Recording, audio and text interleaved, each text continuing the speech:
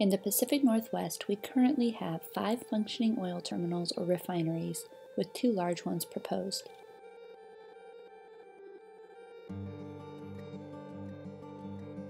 If either the Vancouver terminal or the Hoquiam Grays Harbor terminal are approved, oil by rail will increase dramatically throughout the Northwest.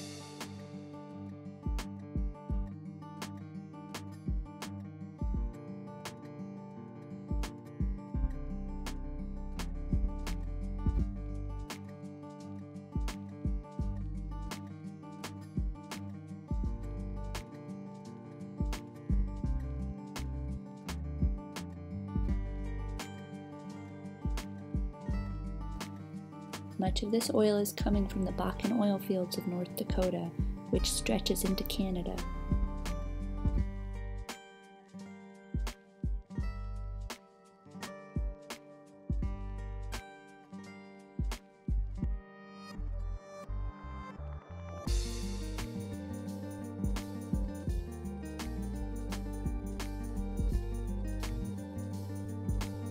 There have been 33 major train derailments in North America in the past three years.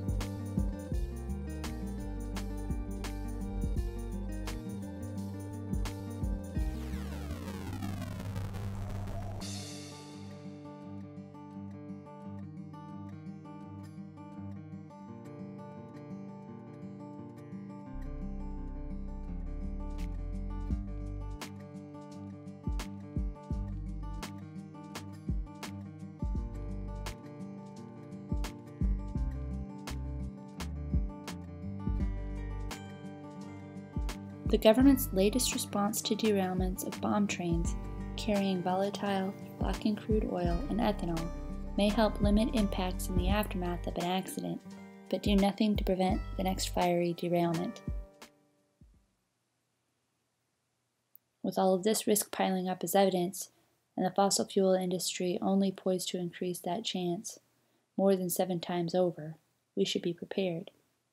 There was a time when people were ready for big explosions. He knew just what to do.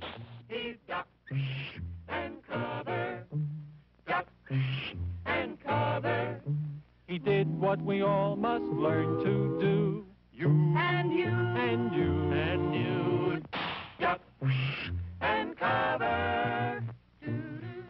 Be sure and remember what Bert the Turtle just did, friends, because every one of us must remember to do the same thing. That's what this film is all about. Duck and cover.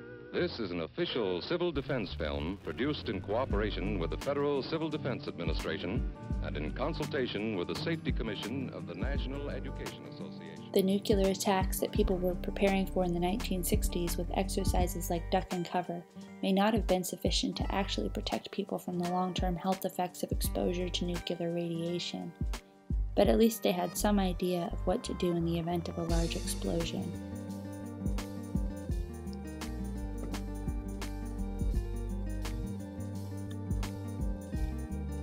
On June 3rd of this year in Mosier, Oregon, a 95 car oil train derailed. 16 cars went off the tracks, and four of them ignited.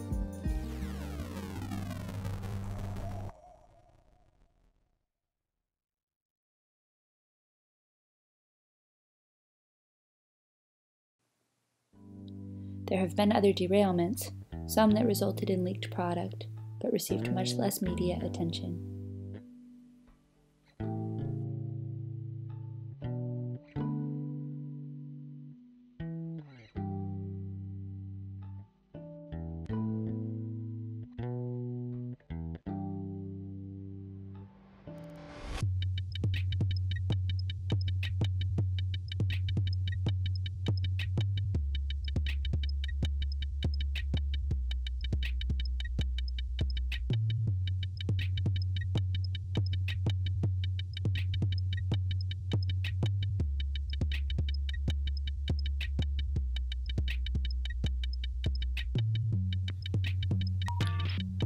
Regulators continue to fail to address the main causes of fiery oil train accidents the excessive weight of oil trains that often include 100 tank cars, deteriorating track infrastructure, and unwarranted train speeds. The solutions that have been proposed include track improvements, electric brakes, new cars, and reports of cargo.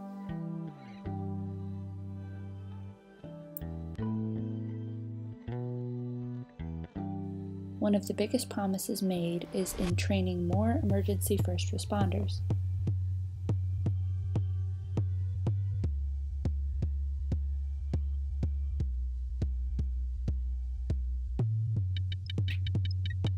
Twenty-five million Americans live in the blast zone. Are there enough emergency first responders to cover that level of risk? How many of these are volunteers? And what is the training involved? The focus is on the emergency.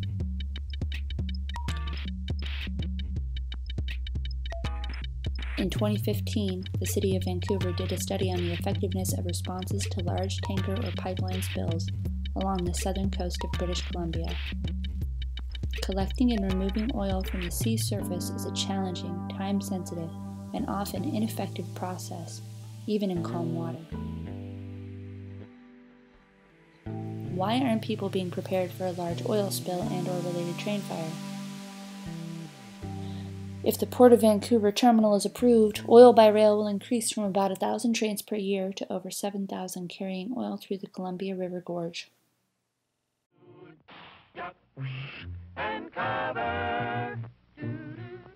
Be sure and remember what Bert the Turtle just did, friends, because every one of us must remember to do the same thing. That's what this film is all about. Duck and cover. This is an official civil defense film produced in cooperation with the Federal Civil Defense Administration and in consultation with the Safety Commission of the National Education Association. Produced by Archer Productions, Incorporated. Hey, Bert, come on out and meet all these nice people, please. Oh, can't blame you.